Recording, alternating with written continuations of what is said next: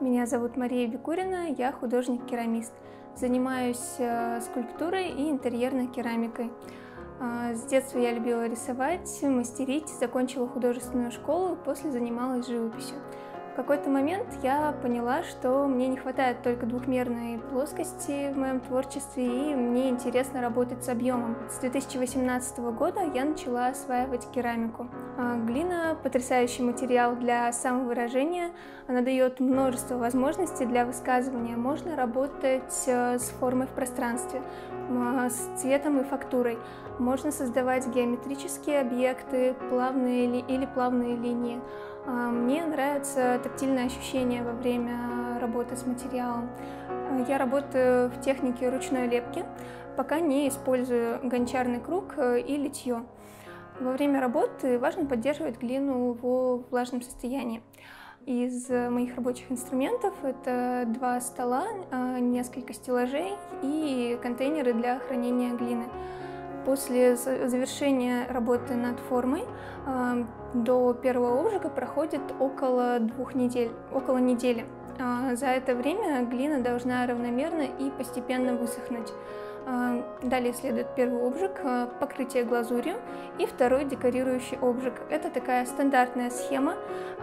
Могут быть вариации в зависимости от свойств материала и от конкретной художественной задачи.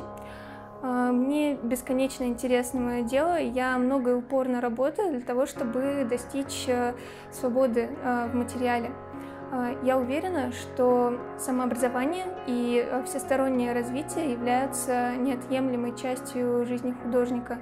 А, неважно, начинает ли он свой путь, только осваивает профессию или уже достиг высот. Я верю, что правильный настрой в сочетании с трудолюбием со временем открывают любые двери.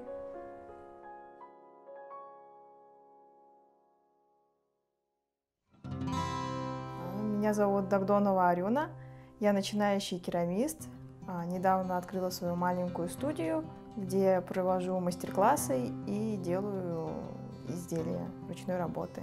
А, мне понравилось вообще работать с глиной, а, то, что можно потом пользоваться этими изделиями из глины, то есть получается керамика. И захотелось, загорелось желанием открыть свою студию, делать свои, именно свои изделия. Я увидела пост в Инстаграме, что в Иркутске НО студия дает мастер-классы бесплатные. Делали плитку ручной работы, то есть потом из этой плитки создавали пано. Я сходила зимой, сделала плитку, то есть влюбилась во все это, в глину и вообще в саму студию. Потом решила взять уже мастер-классы и создать уже что-то свое. Я выбрала керамику, потому что хотела реализовать свои какие-то творческие идеи, показать людям, что я умею научить людей тоже реализовывать свои идеи. Но я считаю, что люди хотят что-то особенное, что-то свое, изделие своими руками.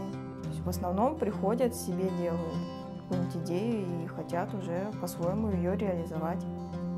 Мы сначала берем керамическую массу, а, можем скрутить ее на гончарном круге, то есть э, изделие, или ручной лепкой. Потом происходит сушка, то есть э, изделие высыхает полностью, и уже тогда проходит обжиг.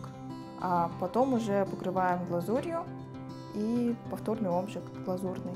Керамика, она капризная. Я не знала, какие материалы заказывать.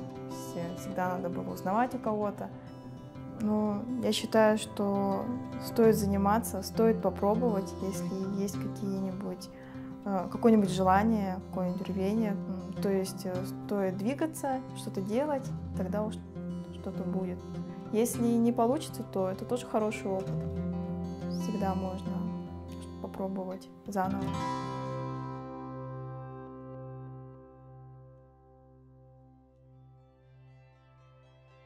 Меня зовут Елена Дугарон.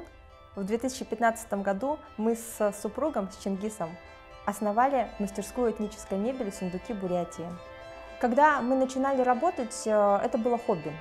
И перестала быть хобби примерно на третий год изготовления сундуков, э, когда поступил э, первый большой заказ на мебель для кафе. Тогда мы поняли, что все, э, надо перестать баловаться, играть, и надо либо далее развивать это направление, либо ну, оно будет как хобби, это, это не, не, не совсем правильно.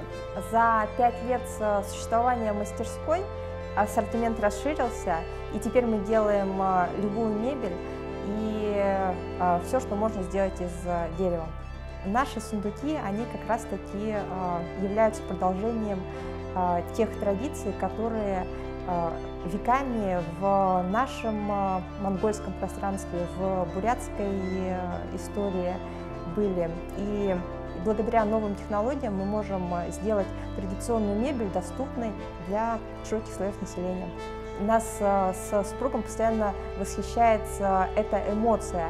Людям действительно нужна э, этническая мебель.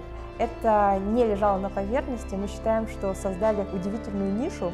А мы с Чингисом не, ну, не были близки к столярному делу или даже к, к мебели.